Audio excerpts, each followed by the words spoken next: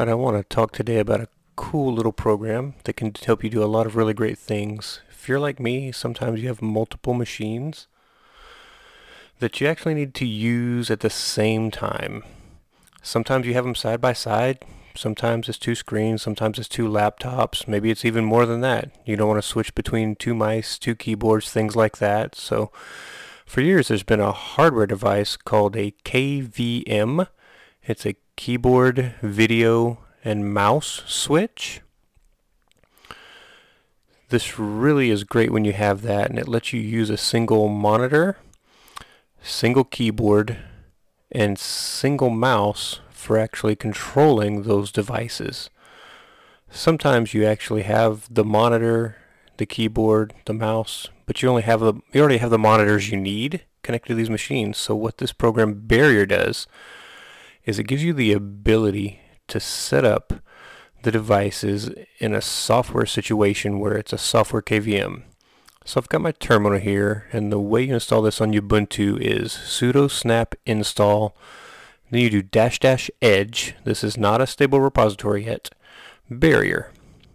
This is the command you'll use. I've already run this. It's already installed on my machine but this is the command you would type into the Ubuntu system with snapd set up so basically 1804 or later if you're doing it on a version before that, you may have to install Snapd first. There are instructions out there on the internet to do that, but I'll try to remember to add links in the show notes for how to do that. Then you install Barrier.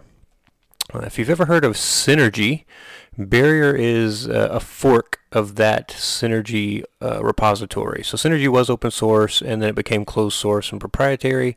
So Barrier is that open source and Synergy used to work pretty well. Um, but we're going to try this version called Barrier and see how it works. So I'm just going to go back and I'm going to go open up Barrier and it's going to open up a nice little wizard for you. So I'm going to make this machine the server.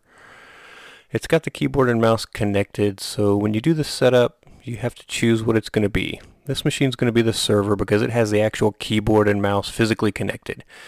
Any other machines would then be the clients. It doesn't have the keyboard and mouse I want to use, so I want to use the one on the machine I'm on now. I'm going to say finish, and the first thing it does is go grab all of my network information, my IP address, my host name for the machine, and that gives me the ability to set up the other machine when I'm ready.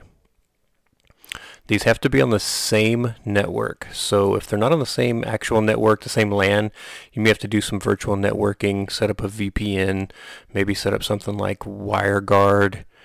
Um, you can set up something like uh, any kind of VPN, Open VPN as well.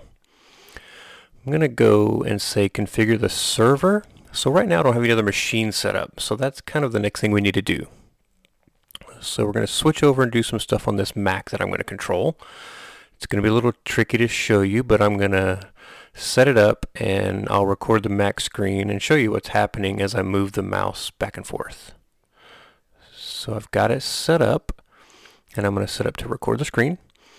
Alright, so I went and got the barrier application, the DMG, and I installed it. You do have to give it permission to install and control your device on the Mac, so I've done that. I've got it installed, and I'm going to run through the wizard on it. So this one I'm going to set up as the client. And again, it gives me the information for this machine, which is the IP address that it has and everything like that. And it is 192.168.7.181. It also has my Neo router IP address there, so that's a nice little um, wide area network, local area network kind of VPN setup.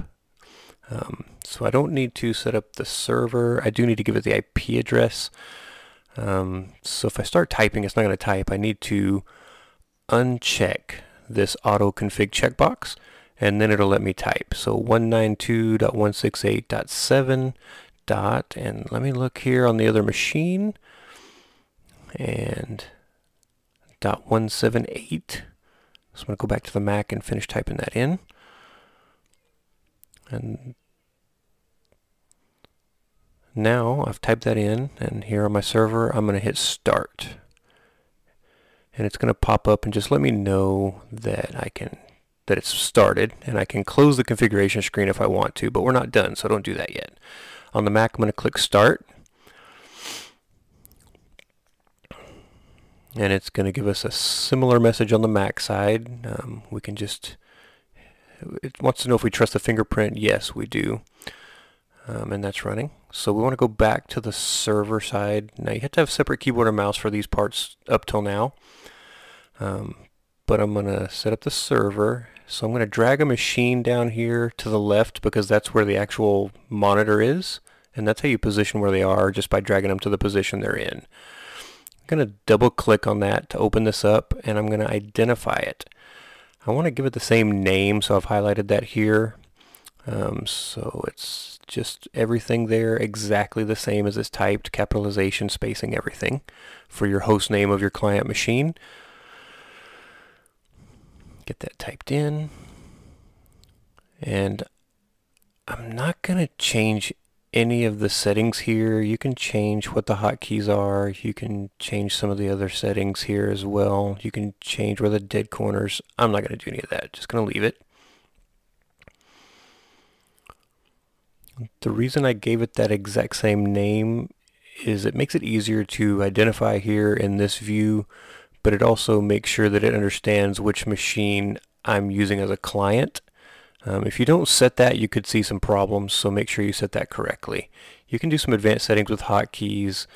You can do a lot of different advanced settings. You can set up switch after waiting, so some things where you can set some timers and delays if you want to.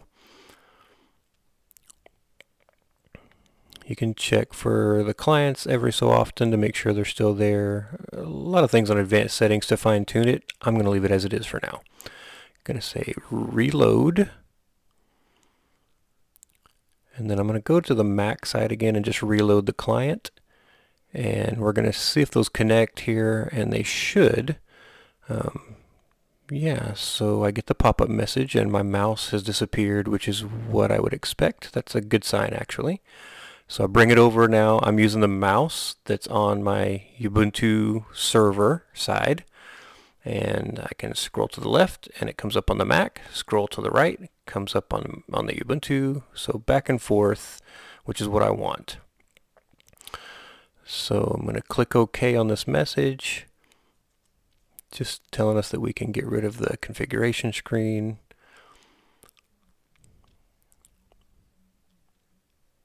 And I'm going to go ahead and close the configuration. It's not going to hurt anything to do that. I'm going to do the same thing back here on the Ubuntu side. So from this point on, I'm using the same mouse and keyboard for both of these machines. So I'm going to open up the terminal. And I'm actually going to use Windows and space, which should open up Finder here, and it does. So in this case, the Windows key acts like the Command key on the Mac. So I'm just typing all this in from that keyboard that's really connected to my Ubuntu machine. So here I can type a couple of commands, just do ls maybe, and then we'll just do clear, and so everything's working there. Now I've got the ability to move between two machines using the same keyboard and mouse, and you can set these up side by side on external monitors. You can set these up with multiple monitors. It doesn't matter. Um, you can set it up to control four different machines at once, three different machines at once, six different machines doesn't matter. So maybe you work in a place that has a control center and you've got four or five machines that you're using to do different things. Now you can control them with same mouse and keyboard and not have this big clutter up on your desk. And it's really fluid, which is great. wanted to give a quick tutorial on this. It's really amazing. I really like it. Put the links in the show notes so you can find it and you can install it and host it on your own machines.